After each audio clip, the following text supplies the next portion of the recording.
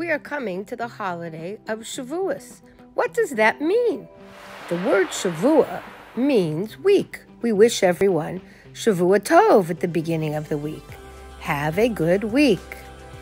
But what does the what does week have to do with the holiday? Well, on Pesach until the holiday of Shavuot, we count seven weeks. We count each day and each week, waiting for the holiday. The word Shavua also means promises. Promises or an oath. What oath did we make? Each neshama that was standing at Har Sinai made an oath to Hashem. What was it that we said? Na'aseh v'nishma.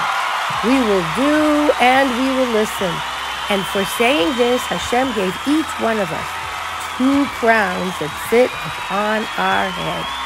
Yes, we need to remember the promise, the oath that we made to Hashem to keep the holy Torah that He has given us. And as we count the seven weeks, waiting excitedly for Shavuos to begin.